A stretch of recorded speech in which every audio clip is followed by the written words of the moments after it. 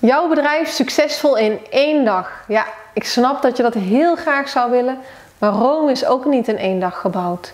Dus laten we heel reëel zijn. Je kunt heel snel een bedrijf succesvol opbouwen. De een doet er wat sneller over, de ander wat langzamer. Wat heel erg belangrijk is, is als je aan de start ben je vaak heel gemotiveerd, gedreven en je zit lekker in de flow en dan ineens je komt in een dip, het valt tegen en je weet even niet meer waar je nu naartoe moet. En misschien ga je zelfs wel opgeven.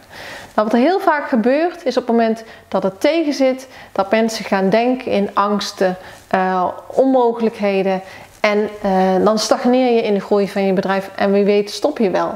Terwijl dat helemaal niet nodig is, want we hebben allemaal de controle over onze mindset. De controle over ons succes. Het gaat erom dat je kiest voor een concreet doel, dat je een vurig verlangen hebt en de wil om te winnen. En dat je je mindset 100% zet op succesvol worden.